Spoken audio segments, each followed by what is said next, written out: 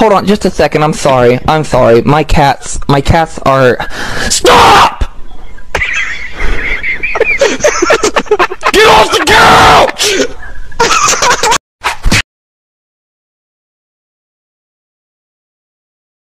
And if you ever come in here again with a goddamn opinion, I will shove it so far up your ass Language!